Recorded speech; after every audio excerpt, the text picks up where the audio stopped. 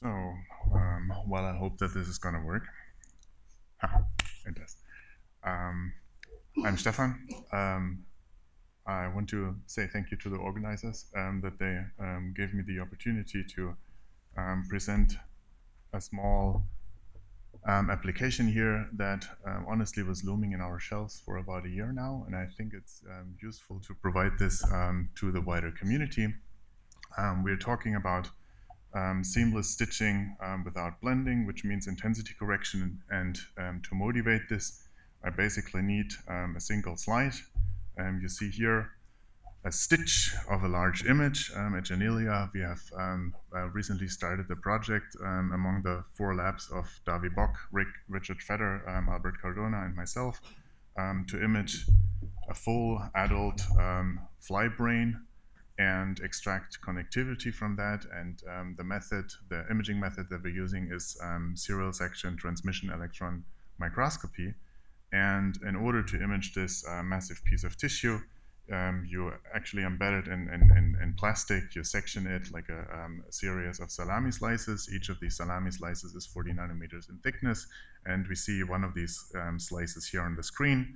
Um, uh, we image that at 4 nanometer per pixel uh, resolution in XY, um, which results in mosaics of um, these extents. Each of these individual images um, about 2.5K by 2.5K, um, which results in, a, field of view of 200,000 pixels times 150 roughly. Okay, so this is what we're seeing here. Um, we see that um, stitching and alignment works. This is earlier work from us and others but we have all these um, horrendous intensity variances in this image, right? And, and you see this in basically um, all microscopy acquisitions, and one can fix this by imaging a bright field and dark field, but um, in reality, um, about 10% of all the people um, acquiring images actually do that, and most of the time you end up with um, very much in, insufficient results like this one, where um, even somebody decided that um, doing um, per image um, histogram equalization and then storing them as 8-bit images um, was made. And now we have these 8-bit images and we don't know what the, actually the actual exposures were. All right, so how can we fix this? this is a mosaic with overlapping images. and I'm depicting this in this little graph. Um, we have all these images. Every image has a different transformation. In this simple graph, we say that the, the, images are just translated and rotated. In reality, we have also a lens deformation and an elastic deformation involved. And um, we want to make these images look equal in the overlapping parts. All right? Oh, sorry. Now I spoiled it. Um, um, we do this by um, splitting every individual image into a grid of um, linear intensity coefficients, and we want to estimate uh, an intensity transfer function for each of these grid cells, um, such that over the image everything is kind of smooth, and in the overlapping parts they look similar. All right. So this results into a, a cost objective that we see down here, um, assuming that x and y are pixel intensities in one of these grid cells um, where they overlap. We want to make them be most similar up to a, uh, in a quadratic term, and we want to do this for all grid cells, alpha and beta, in all images at the same time, okay? So what we do is we render these images at a particular scale, um, uh, find out which pixels overlap, um, collect them, this is the intensity distribution, and then we try to identify um, a transformation that maps these x and y's accordingly. So if this intensity transformation is a simple linear function, that the trivial solution would be to scale them all to zero, and then they look all the same, and the cost function is perfectly solved. So we cannot do that. Um, we have to um, regularize it by uh, additional terms, and it turned out that regularizing them by um, a non-scaling function that only allows shift. So we want to allow shifts because the intensities have been shifted um, is a good thing, but that leads to a situation where the intensities are globally shifted to an arbitrary point. So we also um, regularize them uh, with a, with a um, lower amount towards the identity model. So overall, the intensities in the entire solutions um, have the same mean.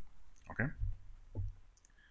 So um, a picture tells more than 1,000 words. This is the original situation. And if we apply this, um, we get something like this.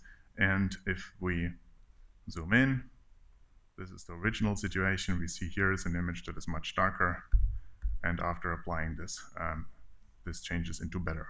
And you will also appreciate that the overall intensity of the image doesn't change, the overall contrast doesn't change, it's basically we're just removing the bullshit. Um, if we do this across the series, it's actually um, even more important. This is a, an XZ projection of the registered series. Every pixel row here is a series, and we're running through the um, Y dimension, and we see that every section has a different exposure, and we can apply the same thing um, across the section series, and then the result is something like this that gives us a nice impression of the volume. All right?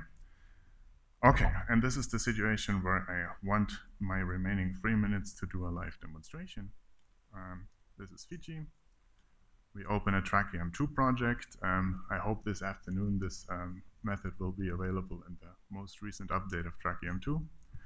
Um, we, sorry, this was the wrong button. We open a recent project because I've done it before. Um, this is a small crop out of the project that I showed you earlier. Um, we see that it's um, well aligned, but the intensities spoil the experience. So continuity in Z is nice, but it flickers, okay? So now we search an example section where it looks um, particularly horrible. Let's say this one with an image that is very bright. Um, we do right click, um, which is the operation in TrakEM 2 that does everything. We go to adjust images and have here new two new um, menu points, say match intensities. It pops up a dialog that asks us for how many sections we want to do this. Because we lack time, we do it only for one.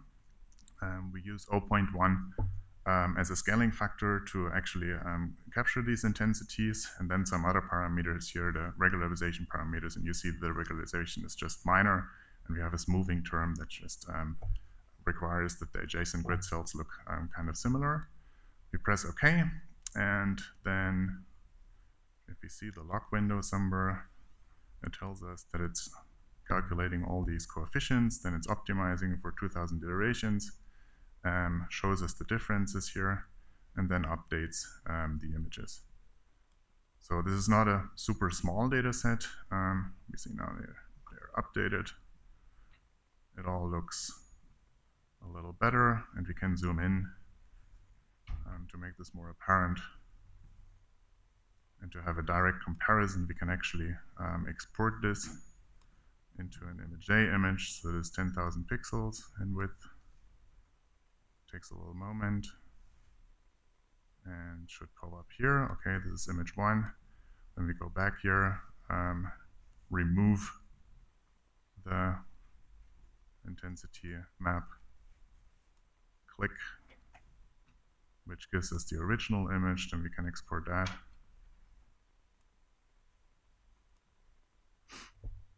And then we use ImageJ's stack to um, compare this. Where's the ImageJ window? This screen is small. Um, sorry. We want to go here. And then we want to go to the ImageJ toolbar, make a new slice, copy this image here, and if you now go forward, it's basically just removing the bad parts. And the rest of the intensities remains the same. You zoom in into this particularly bad area,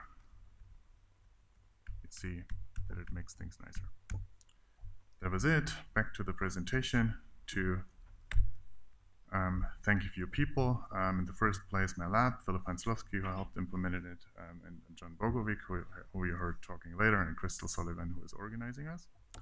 Um, then in Janelia, the labs of Albert, Rick Fetter, Davi and Tara Tessio generated the data. Um, Wayne Rasband for making ImageJ. Where is he? Thanks and the whole um, Fiji team, um, including Curtis, Johannes, Mark, Hiner, um, Kevin, and Pavel, for having Fiji run and for funding um, Janelia Farm, the Max Planck Institute, and um, all the rest who is involved in the Fiji project. Thanks a lot.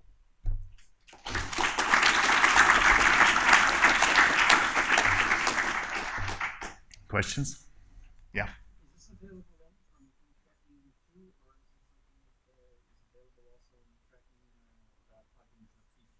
It's right now it's in TrakEM 2, but you can easily um, exclude it. So the answer is yes and no, which in Boolean algebra means kind of no. It's in TrakEM. it's a qubit. Yeah, it's in, it's in TrakEM 2, but it's a, it's an easy part. So it's, it's in its own package, and the so so I just just pushed it on on. Um, I mean, yeah, where is Chrome? Here we are. So it's somewhere a radio privacy policy of the swamp. Um, yeah, so it's over here, and you can see what, what, what just happened. So the last commit is from yesterday afternoon when I modified things to make it a bit more impressive. You can also apply it to 3D. So the the um, intensity map application is all ImgLib2 based, so it's n-dimensional. Um, just um, collecting the coefficients would have to be implemented um, using ImgLib2 because now it uses TrakEM2 as a rendering engine to uh, embed better. Mm -hmm.